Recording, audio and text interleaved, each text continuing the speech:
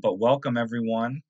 Uh, my name is Stephen Payne. I'm the director of the Bronx County Historical Society. I recognize some of your names who are in attendance, and uh, and there's more that I don't recognize. But uh, glad to see everyone here, and thank you for choosing to spend uh, a Monday night here in January with us. Uh, and we've got an interesting presentation uh, prepared for tonight. Um, I'll turn it over in a second to my colleague Roger McCormick, who's the Director of Education at the Bronx County Historical Society, and he'll introduce our guest speaker. Um, but uh, really happy to see all of you here. And just to put a couple things on folks' radars, we have more events coming up in February and in March, some virtual, some in person, some hybrid. Um, so if you are interested in learning more about our events, um, you can go to www.bronxhistoricalsociety.org or you can just type bronxhistoricalsociety.org and that'll get you there even quicker. Um, I'll share that link in a second. Uh, and I will also be sharing a link to the press where you can buy the book, which is the topic of tonight's talk, um, which Roger will uh, give you the title in a second. And we also have a discount code um, for that book. Uh, um, it's a really, really wonderful and interesting guidebook on the Bronx. Roger will talk more about it in a second. Um, I'll put that in the chat, and I'll also put the Bronx Historical Society website in the chat. And finally, uh, a final um, a final note: uh, if you enjoyed tonight's presentation and if you want to support the work of the Bronx Historical Society, we always appreciate your support. There's a donate button on our website, um, and you can also, if you want to do the old-fashioned way um, of sending in a check uh, on our website, there's the address, and you can you, you can donate that way as well. But thank you everyone for being here. We're very delighted to offer this program. We have more book talks coming up in the future, um, so please check that out. And uh, and now I'll turn it over to Roger, our director of education. Oh, thank you very much, Stephen. Um, so it's my uh, pleasure to introduce um, Helaine Helmreich, who is the widow of William Helmreich, who wrote the book that we're going to be talking about tonight. And I have it, have it here, or hold it the other way maybe. The Bronx Nobody Knows, an urban walking guide, which goes neighborhood by neighborhood. Very interesting socio- sociological work, very interesting ethnography, very interesting on the history of the Bronx and on demographic change. Miss Helmreich is a native of Brooklyn, New York, uh, she now lives on Long Island. She was educated at CUNY. Uh, she was employed as a uh, speech pathologist for over 40 years, in addition to writing a historical novel, The Chimney Tree, published by the Toby Press in 2003. She's also worked as a ghostwriter and as a proud mother and grandmother. In the last 15 years, she spent much time accompanying her late husband William on his walks through New York City for the Nobody Knows series, uh, there's also guidebooks on Brooklyn and Queens, and a larger book called The New York Nobody Knows on the entire city. She has walked nearly all of the Bronx with him, learning to appreciate the beauty and complexity of our fascinating uh, borough. Uh, so, Helaine, um, talk about the the process and the research that went into uh, the Bronx. Nobody knows. You know, how much time would would your husband spend, and would you spend in the neighborhood before he wrote about it? and how much time you know and what what did he do when he when he walked and when he was doing research well we didn't do he didn't do the research before he went into a neighborhood he wanted to go into a neighborhood blind as i would say without having any preconceived notions without having read about what other people said about this particular neighborhood he wanted to see the neighborhood as a blank slate and whatever he would find that was what would be of importance to him. And then later, after he had walked the neighborhood and had recorded all of his observations, he would then do research on the neighborhood to augment everything that he had learned on his own so that he could write about it you know from a from a perspective not only of what he had seen but of knowledge in general uh, when we walked the neighborhoods he was he was looking for all of the unusual and different kinds of things that people don't necessarily know about the Bronx. Uh, he didn't write about the Bronx Zoo. He wrote about things that, uh, you know, he didn't write about Yankee Stadium. He wrote about things that people really would be surprised to learn. People that some people in the borough would know, but many, many people who were not from the Bronx, and even those who were, would not have known about them. And it, you know, how how much time he spent in a particular neighborhood really depended on how large that neighborhood was, how many people we met on, you know, we would encounter during our walks that we could speak to, how much they spoke to us, how much how how many interesting things we found in a particular neighborhood. So it was really a question of like a treasure hunt. Like we would just go into the neighborhood and see what we could find, see who we could speak to, and then he would do the research afterwards. Very, very interesting.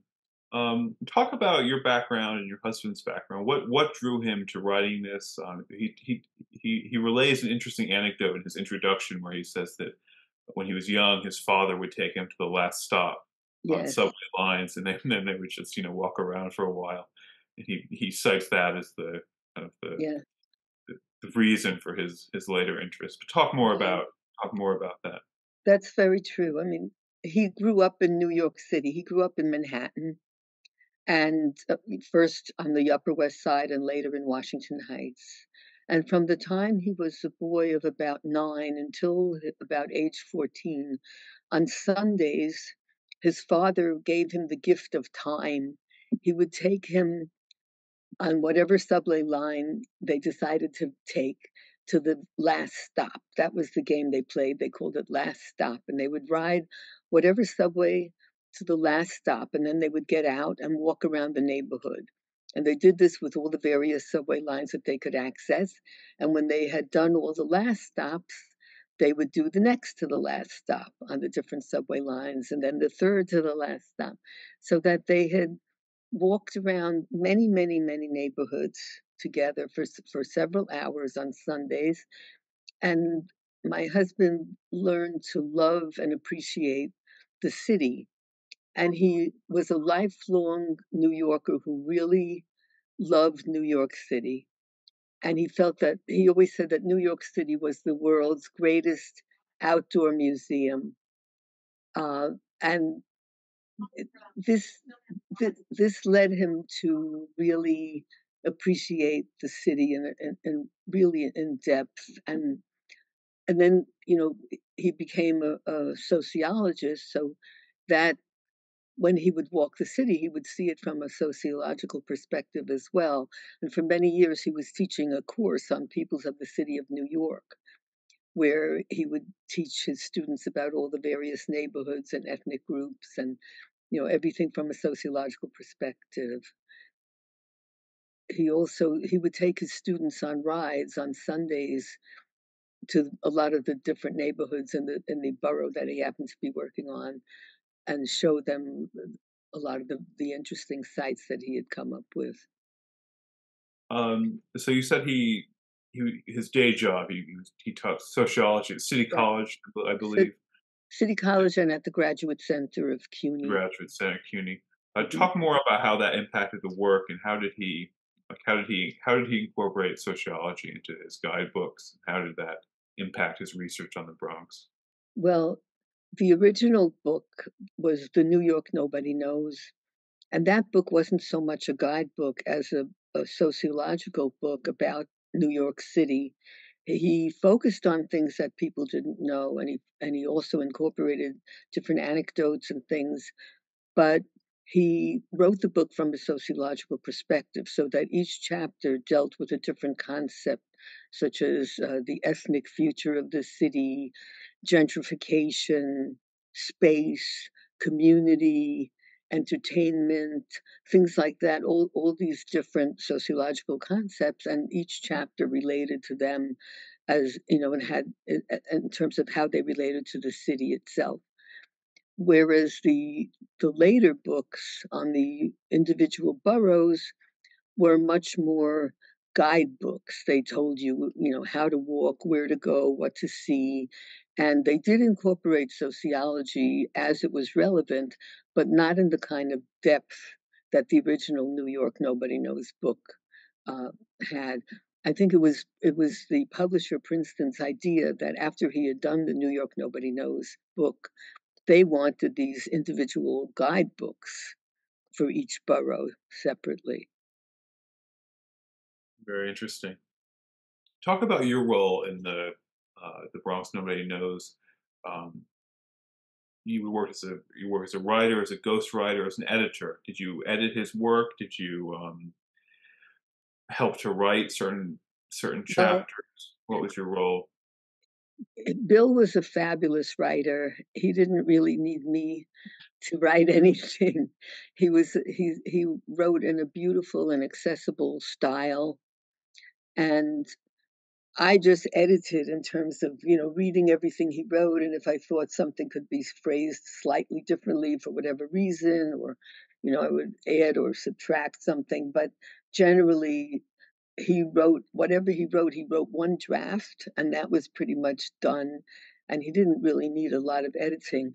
But I did my role in terms of the Bronx Nobody Knows, I did walk with him through almost all of the streets of the Bronx. And in order to prepare myself to do that, I also I I did research on the different uh, things that we saw. I would look them up and find out what was you know what was said about them.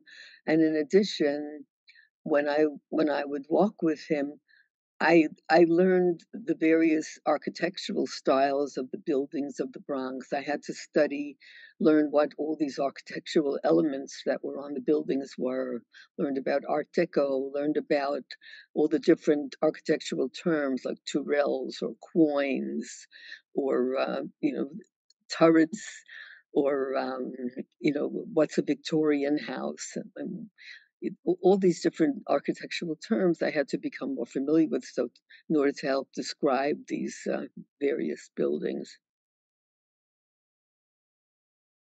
Um, so really, I mean, this is the fascinating thing about the book is that he's he's pulling in and interweaving all these different things. Like he's talking about Art Deco buildings on the Grand Concourse, for example. He's talking about de- demographics. He's doing ethnography. Um, but really, what comes is very vivid to me is his his, his incredibly incredible skill in interviewing just people he stumbled across while he was walking. Um, was this this came out of his background in sociology, or where did he get this? Where did this kind of talent of his arise from? And when did he when did he begin to start doing it? This was something that he had his entire life. Um, he was he had a very outgoing, very gregarious personality. He was very naturally friendly. He was very personally charming. He knew how to speak to people in a non-threatening manner and how to uh, how to just uh, get their trust. And he, I mean, he wrote a book. His first book was about a, a, a black militant organization in St. Louis when he, as a, a, a, white individual, was able to interview all these people, gain their trust, and write a book about them, which at the time was published by Harper and Row. He was just a, a graduate student when he was doing that book. And all all his life, he was just very congenial, very friendly, and part of it, I think, his his sociological training also helped him to to know how to approach people you know how not to threaten them how to disarm them and how to get information from them without being intrusive. It was always amazing to me because i don't have those skills. I'm a much more you know reserved and reticent person and it was always amazing to me to see how he could speak to any individual that he came across, whether it was a an unhoused person sitting on a park bench that people would have been afraid to approach, or a nuclear physicist in a, in a, in a university. He knew how to speak to everyone, and he would always very quickly find out everything about them. If it was in a neighborhood that eh, he would ask them what neighborhood they came from, where they lived, and he would tell them something specific about their block or about their neighborhood and somehow always was able to get people to talk about whatever he wanted to discuss with them, and he always left them laughing. He would speak to them, and then he would leave them with a joke, some kind of bon mot, and they would laugh, and it was always amazing to me how he could do that. Didn't matter who it was, he could he would always leave them laughing, and I think that wasn't so much a function of his being a sociologist or an ethnographer as it was of his special personality, the unique traits that he had. And, eh, you know, he had you you used the word disarm, you know, that people would open up to him. And I find, like, the a lot of really interesting conversations and, you know, not just you think like maybe small talk, but really kind of interesting conversations that shed light on a lot of issues that the borough is, you know, facing, gentrification being one. So talk Mhm. about, you know, talk about what in his interviews, what he learned about the Bronx and what what what what did it show was was going on for about particular issues and how people felt about them, like, for example, gentrification. Well, gentrification is a very controversial issue, as we know, and we did talk to people in the Bronx. I mean, this book we started walking in 2018, and a lot of things have happened since then. But at the time that he wrote the book, people were talking about Mott Haven, that they thought that that would become an area of gentrification, and at the time, nothing much was happening, but there was all this talk about this, um, the Somerset Company that had bought a large tract of land in Mott Haven along the waterfront and was later sold to a I another company, I don't remember, Brookfield, perhaps I can't remember the name of it, but a different company bought it, bought the bought the and now I understand they're building a luxury apartment complex in that area, but there's going to be, I think, 30% of the of the apartments will be for, um, affordable housing. And so certain areas of of the Bronx are definitely gentrifying, and people we spoke to were both pro and con. A lot of people were against gentrification. There's in in Morris Heights, there's a a mural on the wall, an anti-gentrification mural that's very interesting. Uh, it shows a um, a big exterminator, a Doctor Dror Door, Doctor Door, who looks like a bo bohemian type, and he's out to to to to gentrify this neighborhood, and the and the local residents are depicted as bees, and he's trying to spray the hive and get rid of the bees, and the and the the bees are saying things like, "Oh, no, not another Whole Foods." Uh, and, uh, and and and you could see at the end there's a tremendous battle between, uh, the exterminator and and the bees who are trying to fight back. And it it depicts really what people's attitudes are. I mean, if you're a a a low-income person who's renting an apartment in a neighborhood, and the neighborhood starts to gentrify, first of all, your rent can go up a certain amount. The landlord can raise your rent a certain amount because he may want you to leave so he can rehab the apartment. There because of a law that was passed a few years back, they can't jack up the rents as high as they used to. I think they can't go that high. They used to jack it up at least 10%. They can't do that anymore. But even so, I mean, if if your neighborhood is gentrifying and you're a renter people are moving in that you have nothing in common with. The stores that you're accustomed to, you know, the the stores where low-priced items are sold will be replaced by other stores that are much more expensive, trendy boutiques. The the coffee the bodega on the corner where you bought your cup of coffee for a low price is gonna be replaced by a a coffee sh fancy coffee shop where you'll have to pay $4 for a cup of coffee. I can understand that you would not be happy with this. You know, there are certain benefits when neighborhoods gentrify. There are trickle-down benefits, you know, to there may be certain new jobs that are available, and crime will go down generally, but the people who live in those neighborhoods and are, you know, are renting, they're they're kind of used to living in a in a crime a high crime area. They learn how to deal with it. They've learned how to live with it. they'd rather live the way they've been in their neighborhood than have to live cheek by jowl with people that they have nothing in common with, who probably want nothing to do with them. And ultimately, many of them are kind of forced to move to other areas. Right. Um, that's very interesting. And you had mentioned, like, obviously ch- changing rapidly as we speak, the Bronx, but you said he started doing the research in 2018. How how long did it take before? I guess maybe two years before it was published. And what what did he see Well, change that it took it took longer. I mean, Longer because of um we he finished the book, but and but then I think COVID put you know that there was COVID. The the book on Queens came out shortly after he passed away, and then the book on the and then the Bronx book was in production, and it came out uh, in in August of uh, I guess was 2022. I'm not even sure. I have to check when it was exactly published because we were already walking Staten Island. So it came out in 2023. So that's when it was actually published. And we had already been walking Staten Island for the last number of months before COVID hit. Um, if you if you were to say like the th- three or four, four or five most important things people learn about the Bronx from this book, what would they be? Well, he found that a we found that there were uh, there was a great deal of hope. People who live in the Bronx seemed to feel that the Bronx was getting better, things were going to improve. At least at this particular point in time when we were there, they had a lot of hope for the for the neighborhood. They felt that it was going to get better and things were going to improve for them. Another one was the history of the Bronx.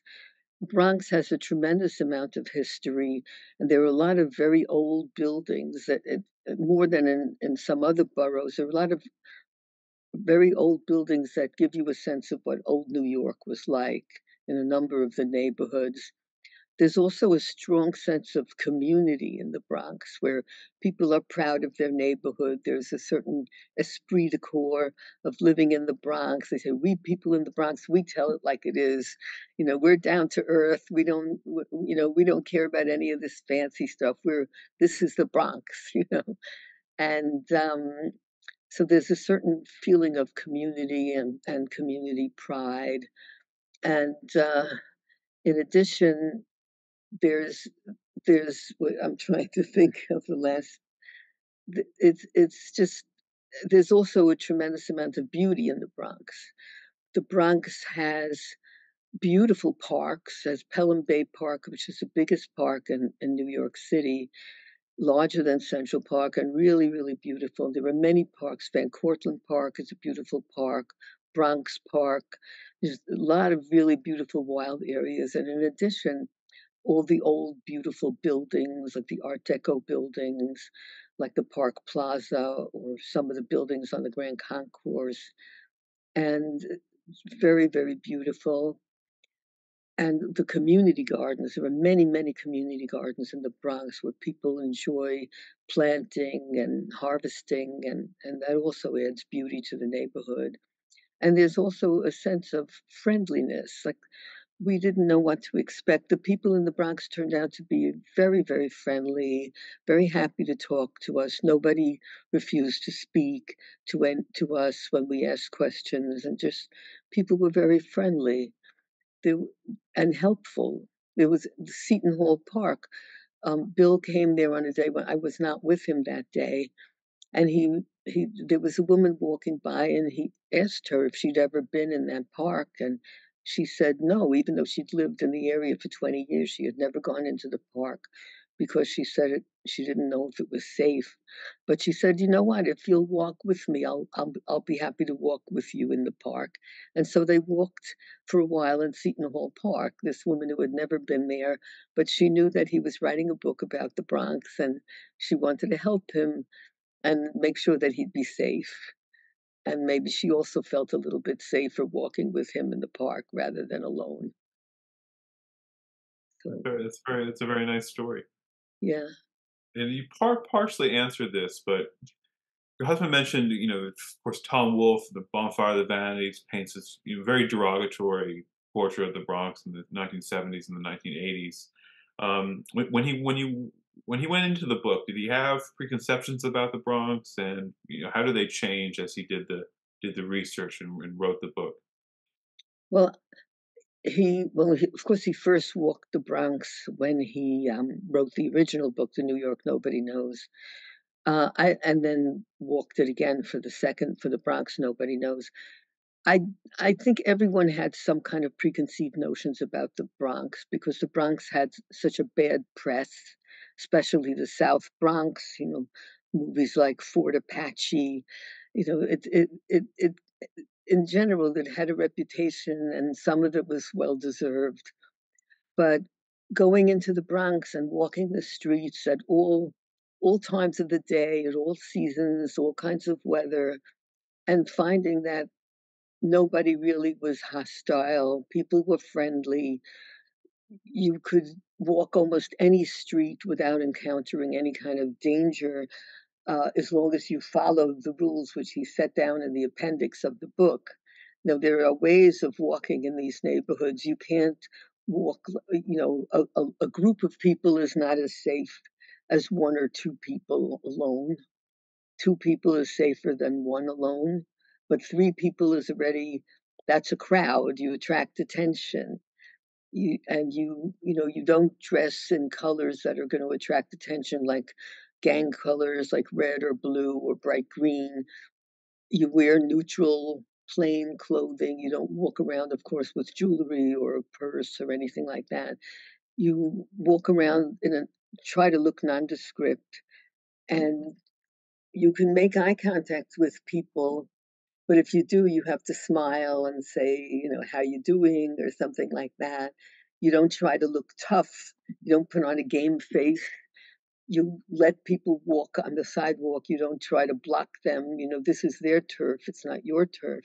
There are all different ways that he lists of how to walk through these neighborhoods without causing anybody to uh, become hostile or threatened by you. And um, I think we he found, and I found that the Bronx was a much more pleasant and friendly place than people expect it to be. What what year was, uh, the New the New York Nobody Knows published? I think it came out in 2013. Oh, I see, okay. And I was I was gonna ask, you know, if he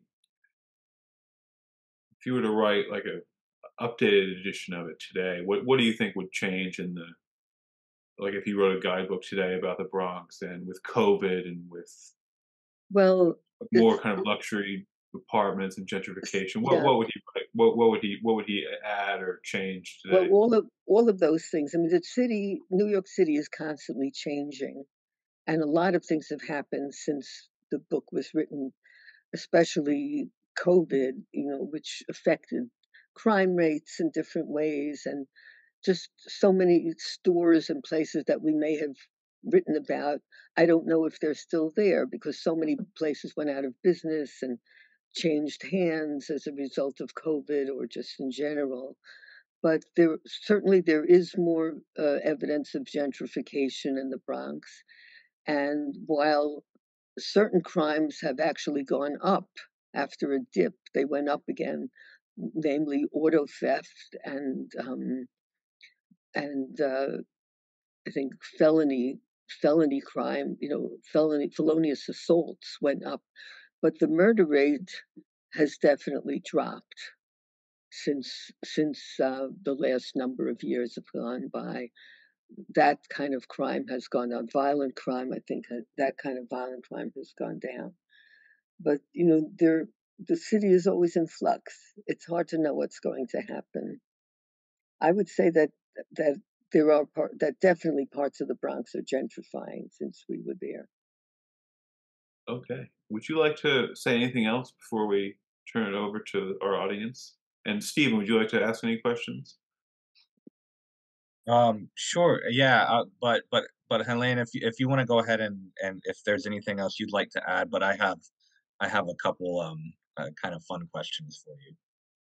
Well, there were a lot of really interesting places in the Bronx that I never knew existed, and, um, I can list some of them and talk about them if you'd like. Oh, and he also I I forgot to mention, he has wonderful maps, which are incredibly useful because, you know, it's there's a lot of debate, you know, what is the boundary of Fordham, Yes. say, you know, and he's really interesting, he's he he acknowledges the debates, but he's still, you know, commonly agreed boundaries, and they're really excellent maps, so any anyone who's interested in that should get the book, for that I reason alone. I think he he based the maps, um, from the community board the community boards of the Bronx, because there is a lot of question about the boundaries of different neighborhoods, and depends on who you ask. Even the people who live in those neighborhoods had different opinions about where the boundaries were. So he generally stayed with the community board boundaries and sometimes the Encyclopedia of New York by Kenneth Jackson. Um, but there were so many interesting places to see, and and there were surprises, like, that's another thing that we that he found that we found, that the Bronx had a lot of surprises, things that we didn't expect, like the waterfall in River Park.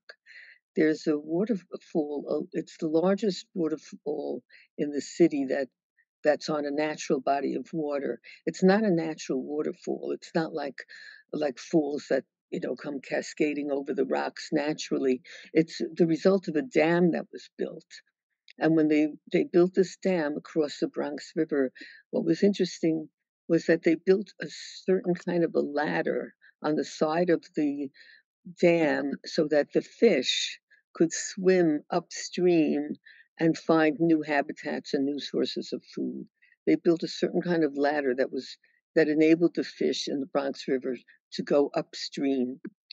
And the the the waterfall itself is very beautiful. It's in River Park, it's near the Bronx Zoo, and it's it's a very interesting sight. You don't expect to see something like that in the middle of the Bronx. There's also a a synagogue that's hidden within a a a nursing facility. There was a place that used to be called Daughters of Jacob, and it was a nursing home, and now it has a different name, um, but it had a synagogue within it that's it looks like a Greek temple, it's on top of a hill, and it's like a building with spokes radiate radiating out of it that are different wings of the nursing home. But if you go inside, if you're able to get inside and you see this synagogue, it's perfectly perfectly preserved and really beautiful, but there were no almost no religious symbols inside because now it's a non-denominational church. But it's an incredible sight to see. It's not easy to get in to see it, but it's it's it was really well worth seeing it. And there's also Poe Cottage. Edgar Allan Poe in 1846 moved into a cottage, and at at that time, the Bronx was country, it was bucolic, it was, you know, forests and trees and and meadows, and he he moved into this cottage there with his wife, Virginia, because she had tuberculosis, and they thought that the country air would be good for her. Unfortunately, she it didn't really cure her, and she passed away about a year or 2 later. But he lived in that cottage for a while until until the time that he passed away in Baltimore, and he was apparently very happy there and very productive. He wrote, um, the poem Ulalume, and he wrote Annabel Lee and and Bells while he was living in that cottage. And it's near the Grand Concourse. So it's very interesting. There are just so many interesting places that we came across.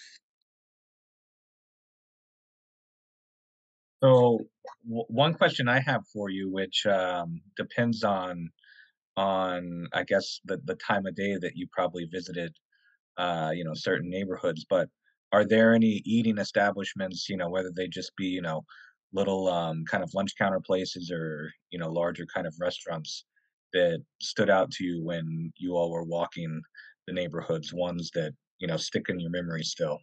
I really don't remember the names of any of the I remember I remember there was a place we there was a place we didn't eat there, but there was a place called Emilio's Pizza that had an amazing mural painted on on the walls. Uh, it's on the corner, so the the mural is painted on 2 different walls, and it's, like, bright red and gray and black and white and green and yellow and chartreuse, all different kind of geometric shapes with bright red tomatoes interspersed, and it it's on the the walls of this Emilio's Pizzeria.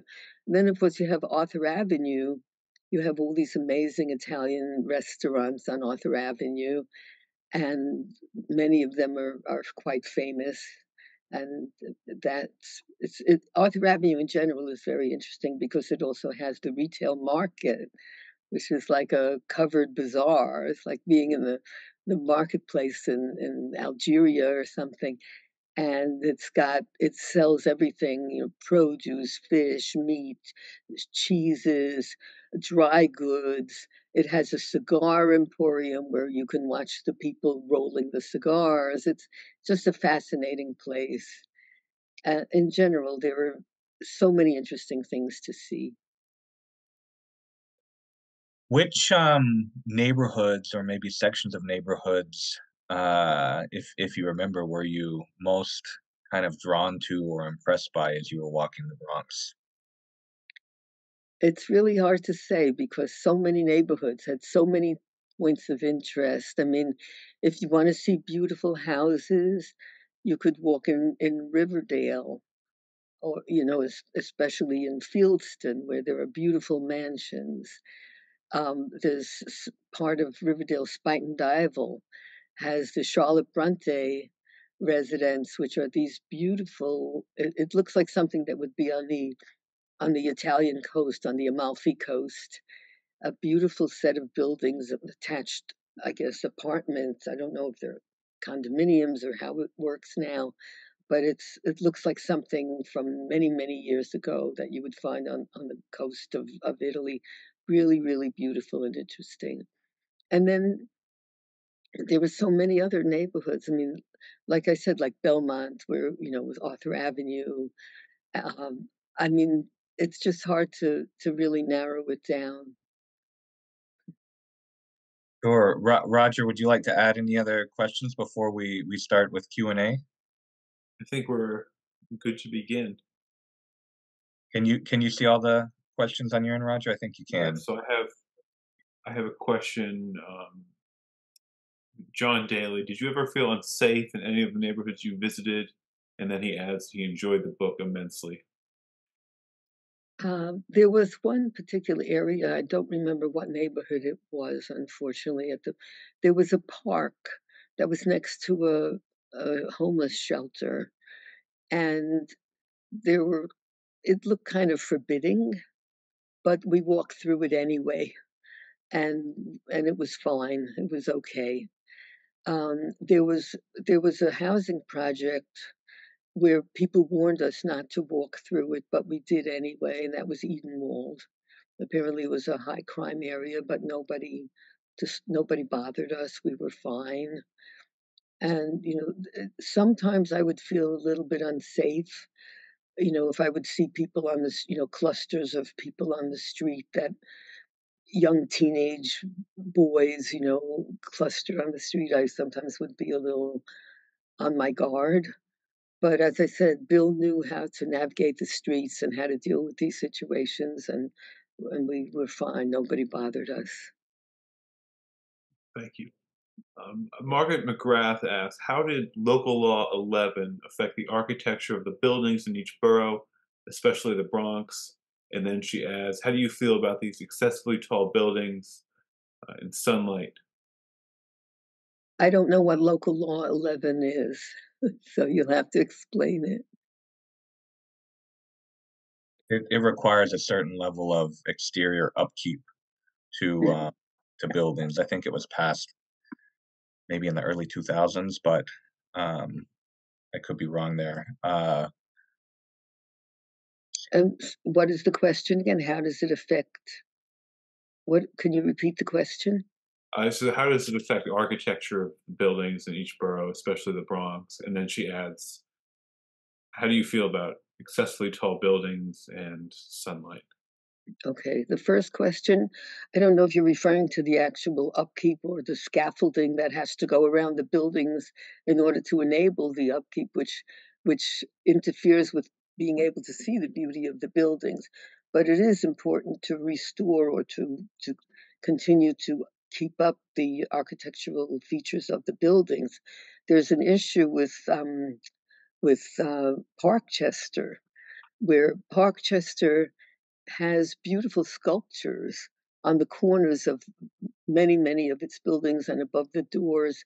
And I read an article not long ago that a lot of these sculptures are now missing. They've been taken down and they have not been replaced. I don't know if they're being repaired, repainted. I don't know what's happening. But I read that a lot of these beautiful sculptures have been taken down. I don't know if it's because of this law, because they, they were posing a danger, maybe they were in danger of falling off. I really don't know.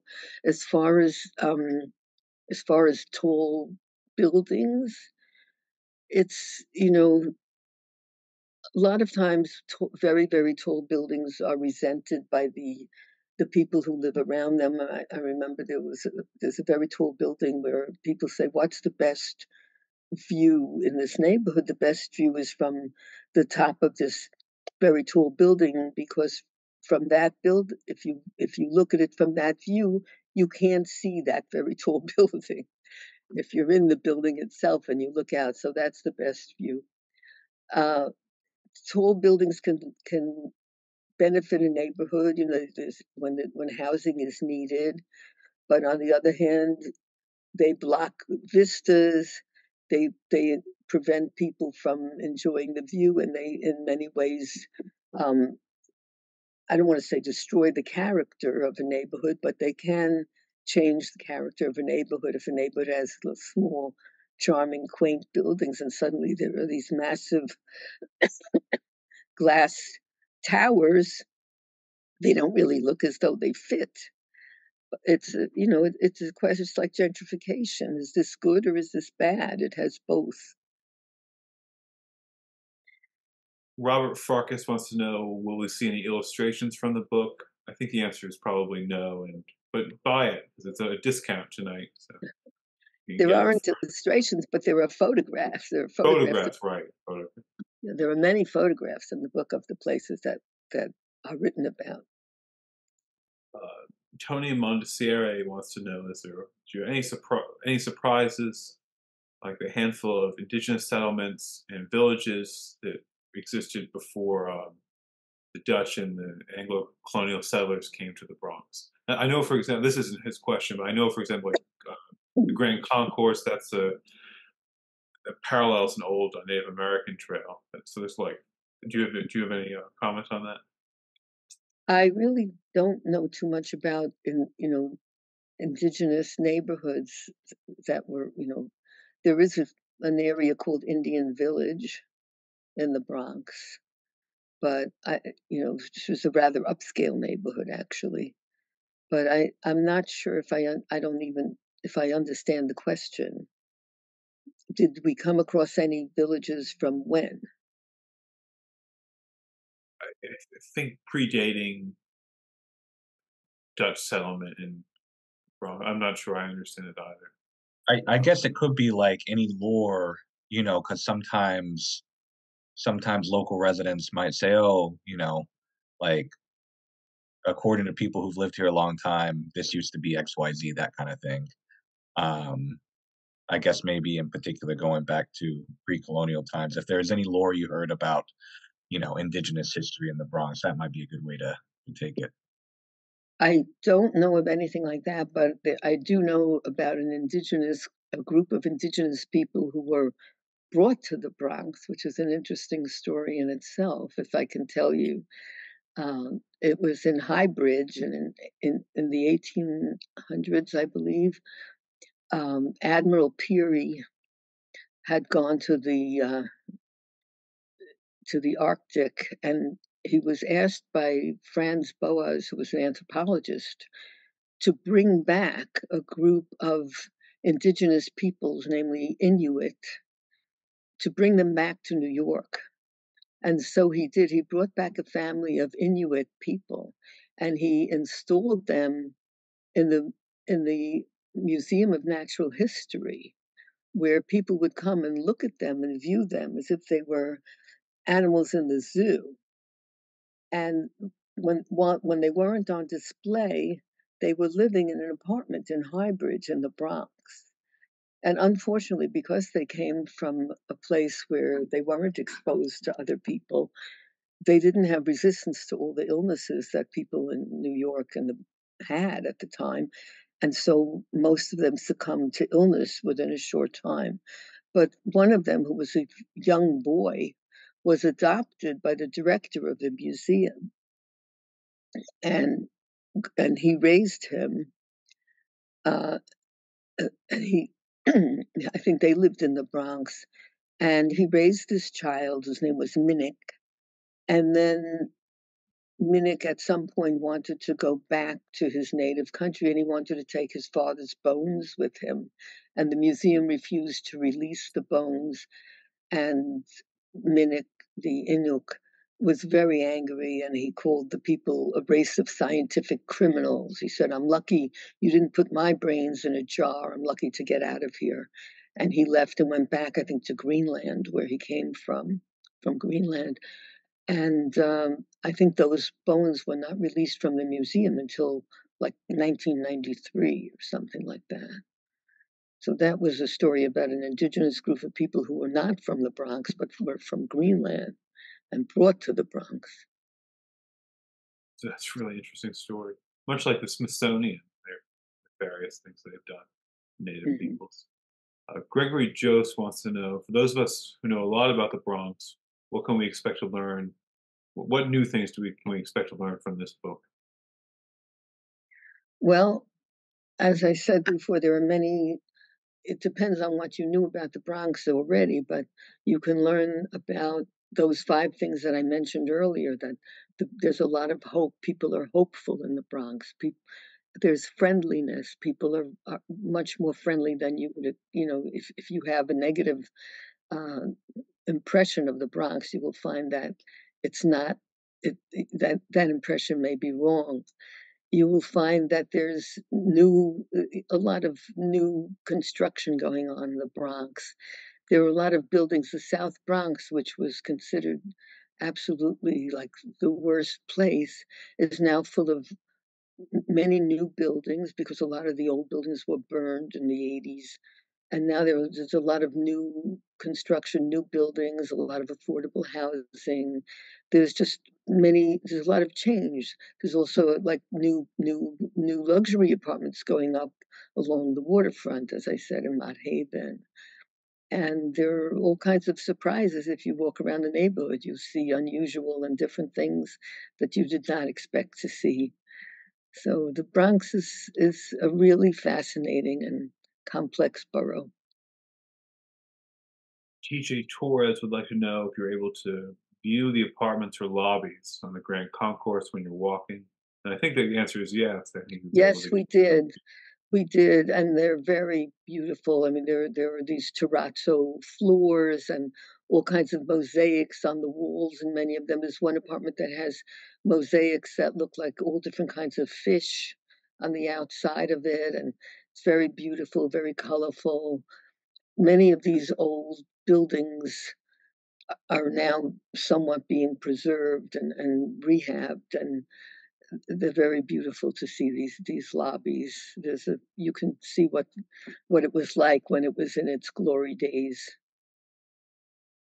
Uh, William Kinsella would like to know, um, perhaps different from the official neighborhood boundaries defined by the community board, did, you and William have a sense of natural boundaries when traversing the neighborhoods?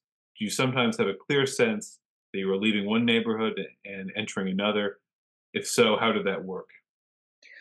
generally it was not so much like that unless one neighborhood was very much different from others like riverdale is is not like the rest of the bronx it has much more suburban feel. And of course city island is surrounded by water. It's an island so it has a, a different feel to it. And it's also It's more of a it feels like a fishing village resort town combination. compared to the rest of the Bronx, although there are other neighborhoods like that too, like Edgewater Park, which is also like a fishing village and is very different from the other neighborhoods around it. So there are certain neighborhoods that definitely have a different feel, but there are others where you would not know where one ends and the other begins, and you have to rely on the map. Uh, Judith Caro would like to know is that did you find, uh, you and Bill, did you find the Daughters of the American Revolution gra- gravestones on Zerega and Westchester Avenue? Did I see them? Yes, or I find them. d I don't think so. No, I don't recall seeing that. I remember there was a cemetery that we came across. I think it was St. Raymond's, but I don't remember seeing those kinds of of headstones there. Leslie Cutler would like to know, and this is, I think, talked about in the book. Did people talk to you about how the Cross Bronx Expressway uh, destroyed the Bronx? There, yeah, uh, there were some people who mentioned that, and that there's a book about that actually called "All That Is Solid Melts into Air" by Marshall Berman, and it talks about, and also, of course, the the book about Robert Moses by Robert Caro. Um, there, people really there were people who really felt that the Cross Bronx destroyed the neighborhoods, and it did. It, it it cut right through, and and you know destroyed existing neighborhoods, and people were forced to move. On the other hand, there are people who defend it and say, well, you know, it gave people a way to get from one place to another very quickly and deliver goods and services that they weren't before they had to go through the local streets. And when neighborhoods are destroyed, new neighborhoods spring up in their place. So, you know, that's also a benefit. And it, it's really, uh, you know, Rob, Robert Moses has his detractors, but he also has his defenders. You know, Jane Jacobs was very much opposed to Robert Moses and the things he did. But on the other hand, he he defended himself. He said, "Look, you can't make an omelet without breaking eggs. You can't move you can't move a neighborhood without displacing people. You know, you can't change a neighborhood without displacing residents. There's no way." So, but uh, definitely, it's a very controversial topic. I also think they were asking if you like, interviewed anyone that had lived also in that, or maybe I'm misreading it, but did you did you interview or did Bill interview anyone that had been displaced along the route of the Cross Bronx Expressway and that had to live had to move somewhere else in the Bronx? I don't think we interviewed anyone like that specifically. I don't recall. Um, did uh, this is another question? Um, did Mr. Helmreich use any of the resources of the Bronx County Historical Society in his research? Well, I know that he he did consult with people in the society. I don't know, is Lloyd Ultan connected to the, the Bronx Historical? I know he he interviewed him at length. He he was very Lloyd Ultan was very helpful to Bill in his research and in his writing. Yeah, he's a he's a member of our board and uh, borough historian emeritus, and The uh, institution himself. Yeah, yes, and he's lot of ways. acknowledged he's acknowledged in the book, and he I, I know that he was very helpful. Um, Judith Carl wants to know: Did you get to go to Co-op City or City Island, and how did that walk go? both places we we definitely walked through. They were both very interesting. Co-op City is really a city in itself. It was, it's a very well kept area. The people are very happy that we spoke to who are living there. They have everything they need. They have to, they have a whole shopping mall within City Island. They they have they have a whole social network. There's community activities. They there are large friendship groups. People are very just very happy living there. And uh, the people we spoke to, they they felt that they had a great deal. They had a, a, an apartment that was not expensive. In some places, they had there were these townhouses as well where they could have their own garden. They were they really enjoyed it, and it was it was nice walking through and talking to them. I mean, it's not a a really bucolic place because it's got all these tall buildings, but it's got a lot of grass and trees and, and gardens and it just it was kind of a pleasant place. You could see that the that it would be a nice place to live, uh, you know, and people felt that way and they were very proud of it.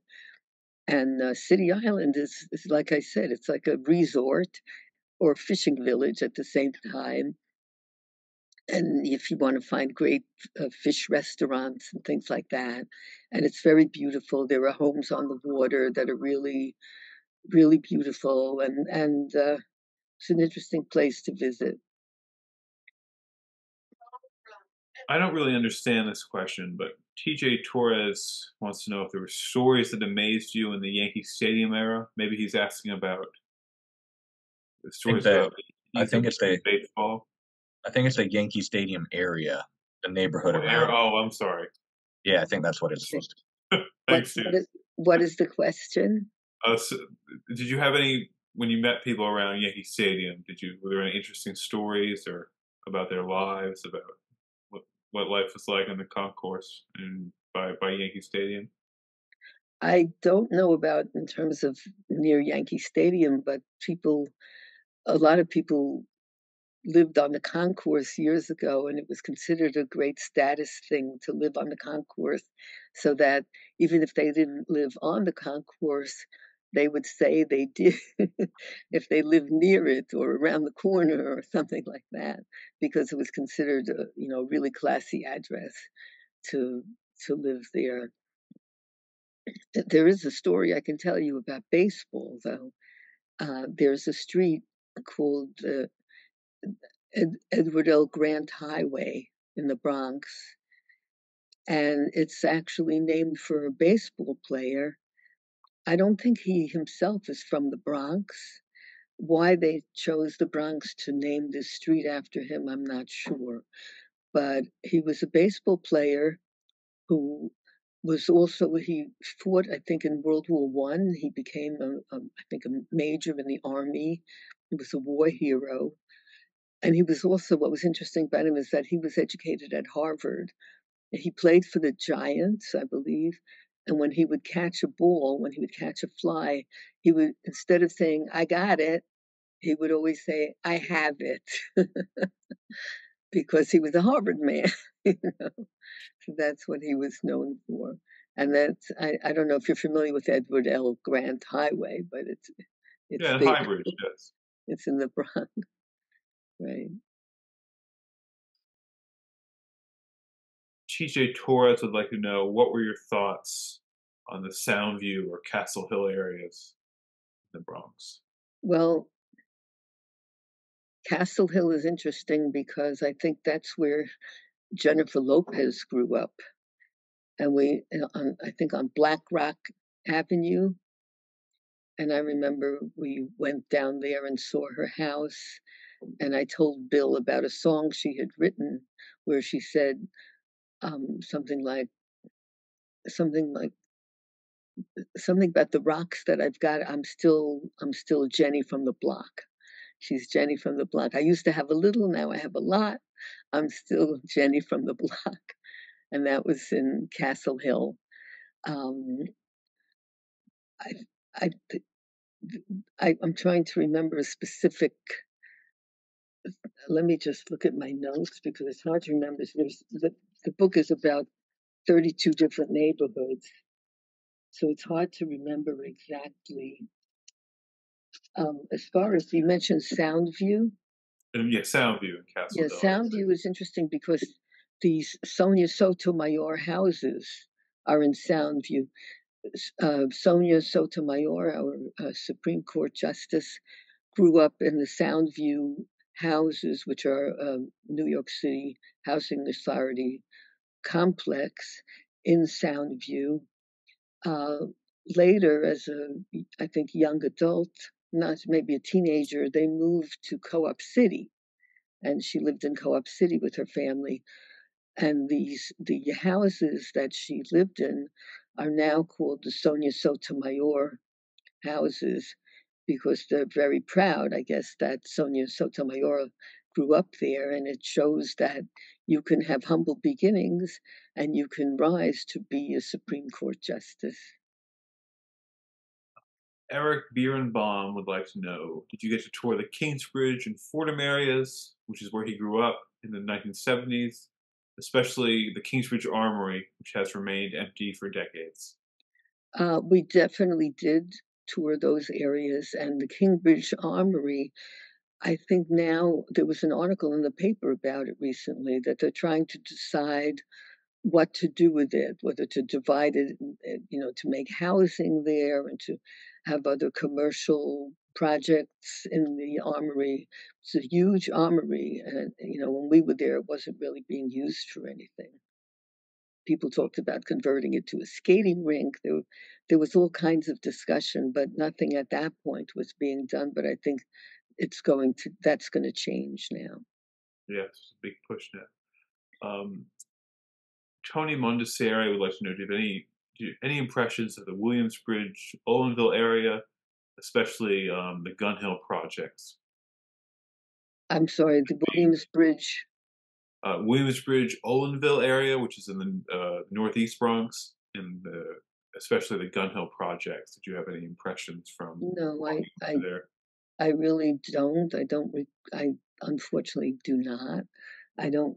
I'm looking to see what I wrote about Williamsbridge.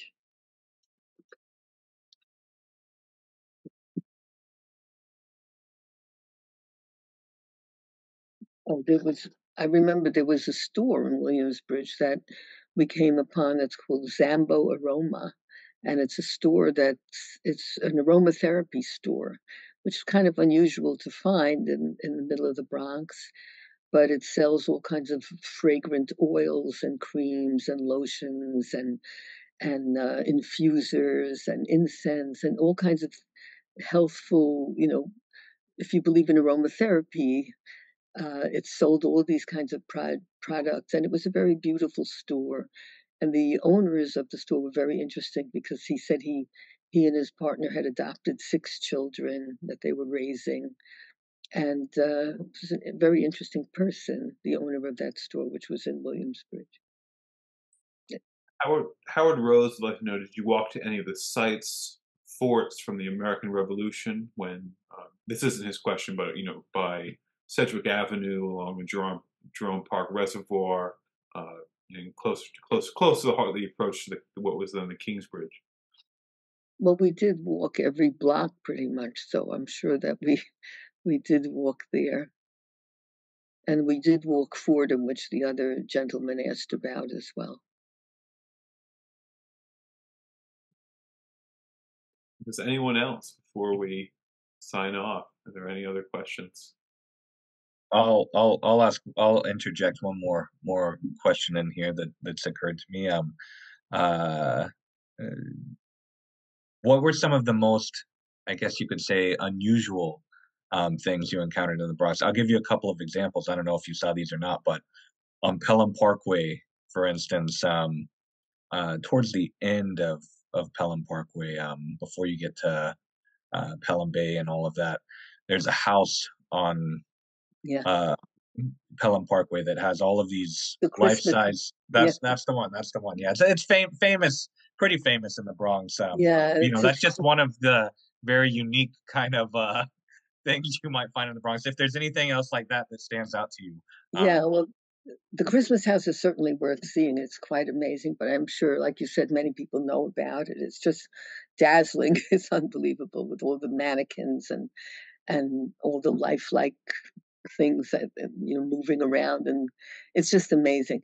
But we did see other very unusual things. For example, um, at Lehman College, underneath the college itself, there's a series, there's a network of tunnels. And there are two, actually, two networks of tunnels. One network of tunnels is below the main area and it's used by students and faculty and staff when the weather is either very bad, you know, too hot or too cold, and they go through those tunnels to get from one place to another. But underneath that set of tunnels, there's another set of tunnels that's very hard to access, but we were able to gain access to it. Somebody actually let us in. And it's a long, long labyrinthine, uh, uh, hall, just row, uh, hallways of dimly lit hallways with pipes all along the sides, a lot of them hissing, and doors along the sides leading to who knows what, and all kinds of mechanical contraptions that we couldn't identify. And we walked through these tunnels, the two of us. Here and there, there would be digital clocks uh, flickering, telling us the time. There was no cell phone service down there, so I was sometimes wondered if we ever would find our way out, and if not, who would ever know that we were down there and who would find us? And we walked there. It was very long and very strange feeling walking through those tunnels. This was not for the claustrophobic. and and finally we we got out of uh, we found a staircase leading out and we were able to get out went out the door and the door locked behind us and we spoke to someone at lehman college who told us that during world war ii the college was vacated by students and it was taken over by the the waves, you know, the women's um, volunteers for the Navy, and also by the women who volunteered to, for the Coast Guard, and they were stationed in that in in at Lehman College, and it's thought that those tunnels might have been used to store weaponry and you know secretly store weaponry that couldn't be seen from outside that couldn't be seen from above that was hidden from anyone's eyes especially enemies and that they they kept and that some of those contraptions and things may still be left over from that time. We don't know. But it was a very interesting walk through those tunnels. And um, also at uh, lehman college there's this huge head of an olmec warrior. Uh, it reminded me of Ozymandias, you know, this this great big, huge, fierce-looking head on the ground, and it was presented to Lehman College by the the Olmec by the Mexican government to commemorate this pre-Mayan civilization, the Olmecs, because Lehman College had opened up a Mexican studies department. And so, in recognition of that, the Mexican government presented them with this replica of an Olmec head. There's also the Peace Grove at Lehman College, where in for about a few months in 1946, the uh, the college had the UN stationed there. The United Nations was stationed at Lehman College, Another interesting thing, speaking of colleges, is Bronx Community College, which is an absolutely beautiful campus and has two amazing libraries um, the Gould Library and the North Hall. Both beautiful, very well equipped libraries, but in addition, it has the um, the Hall of Fame for Great Americans, which is a colonnade um, with busts of famous Americans who who had you know who've made great contributions to American society, like Thomas Edison and Alexander Hamilton, and Robert Fulton and Nathaniel Hawthorne and and many others. It, the last one, I think the, the latest one that was installed was FDR, Franklin Delano Roosevelt. So no one has been added in a while, but there's still space. So if they ever want to add anyone, they can. They can. And those were some very interesting things that that we saw. And just just to to riff off that for a second before you move on to the next question, Roger, there was an earlier question about what people who already know a lot about the Bronx could, you know, learn from this book. Um, much much of what you were saying there, especially I, you know, I I'd heard about some underground tunnels at Lehman, but I didn't know there were multiple layers. I mean, you know, you can pick up things like that from the book. Um, all of these just wonderful little um, nooks and crannies of of the Bronx uh, that, unless you live in that neighborhood or unless you frequent a place, you probably won't necessarily have um, very much experience of, or if you know, unless you have friends who live in that neighborhood. So. So that that's I think really good answer to that question. Those are fascinating stories that you just shared. Thank you. George Bulow would like to know on a recent walk along University Avenue, we came across the home Fiora uh, LaGuardia lived in near the original Croton Aqueduct, the Croton Aqueduct Trail. Did you and your husband find that as well as the linear park along Aqueduct Avenue? And Aqueduct Avenue is also referred to as uh, Martin Luther King uh, Junior Junior uh, Boulevard. Sometimes confusingly, but they're the same same street. Well, we did walk Aqueduct Avenue, which is a beautiful park-like street in University Heights, I believe, uh, with greenery, sometimes on one side, sometimes on the other, and sometimes on both sides. And there are playgrounds and benches and places where people can barbecue. And it's really pretty, especially in the spring when the trees are in bloom, when the flowers are starting to bud on the trees. And it's very scenic, very pretty avenue to walk down.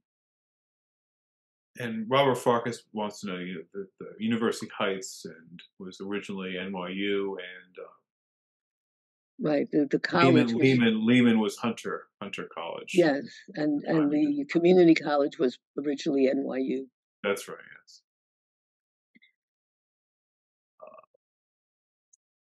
Gregory Jost wants to know if you have a- anything to say about step streets. I'm, I'm thinking it probably means stair streets, connecting connecting, There, connecting roads. there is a, there are many many.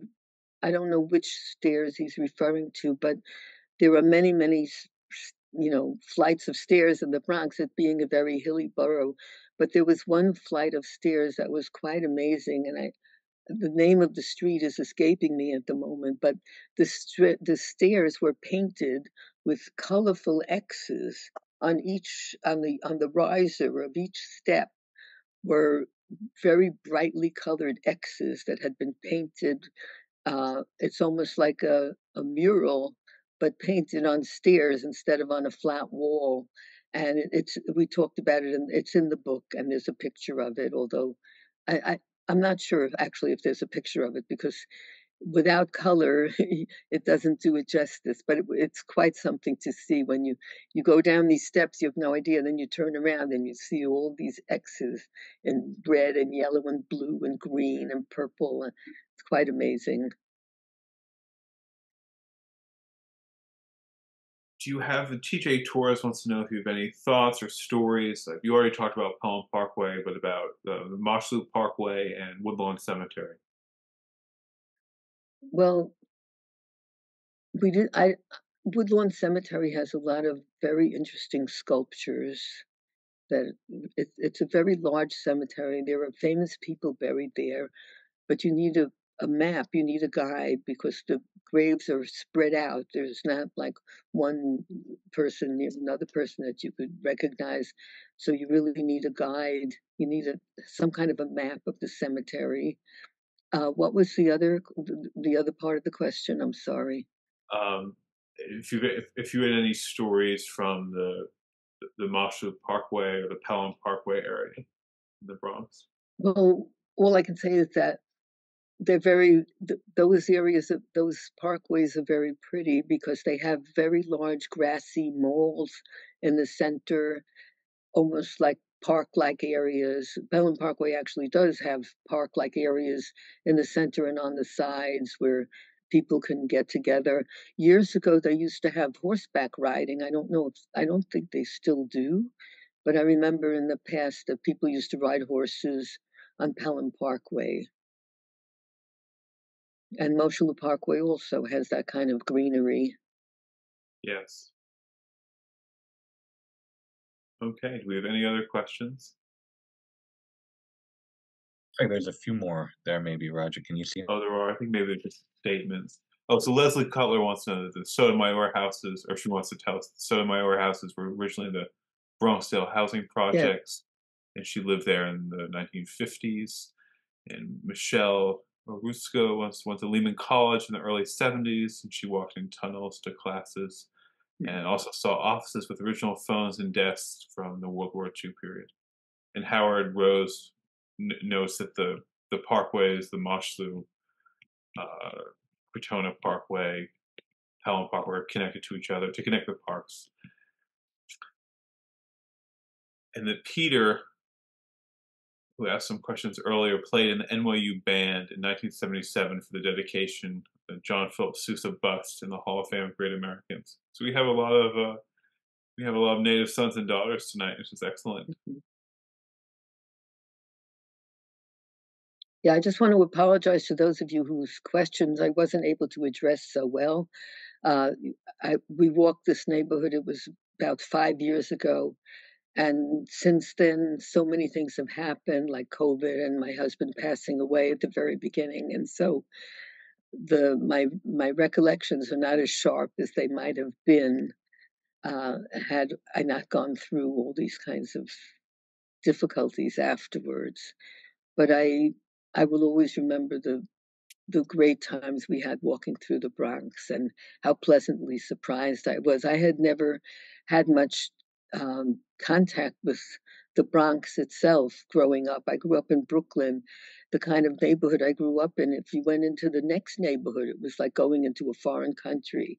So go, going to another borough like the Bronx was like going into outer space practically. As when I was a kid, we didn't have a car, and we hardly went anywhere outside of our own little narrow neighborhood. Um, but I really enjoyed walking the Bronx. I found it fascinating. And as I said, the people were friendly and it was really a joy to walk through it. Really, thank you very much for doing this. A really wonderful interview. And William Kinsella, William Kinsella wants to know is that the Croton Aqueduct on the cover of the book? And yes, it is. It's the Aqueduct Walk. yeah. very, very good photograph. There's also, yes, right. I'm just looking at the picture. Yeah. And everyone, buy the book. It's very good. And and, and also speaking of the Croton Aqueduct, It's on sale. that's right, that's right. And keep keep an eye out in the spring or summer. Roger sometimes will do a walking tour from Poe Cottage to uh, to High Bridge uh, Yes, um, that, that deals with the Croton Aqueduct. It's a long, long walk, but um, it is, but but- it's very historic. that's Yeah, I right. think It's downhill Croton- too for most of it. Croton was, I don't know, how many miles away? Like 41 miles or something. And the aqueduct, the, the water would come from the aqueduct by gravity. It, Right. it, it was not pumped, it, it came through the force of gravity. That's how it ran through. And I'm Oh. I'm just gonna for Oh, you got the right links. right before we close, I'm just gonna uh, send the links again to the book, um, in case people didn't get it when maybe joined us a little couple minutes late. And I'm also gonna send a link to the historical society's website, so hopefully everyone can see that now. Okay. Any any other questions, Roger? I think that's TJ wants to know if there are signed copies, but I don't know. I don't know if there are. No, the, the book came out posthumously. Okay, thank you so much, Helaine. Really, really wonderful and a wonderful You're very book. welcome. Really Thank great. you. Great guide to the Bronx. Thank you very much. Be well. Thank you for having me, and you stay well as, as well. Thank Good you. night. Thank you, everyone. We hope to see you at, at future events and uh, have a good night.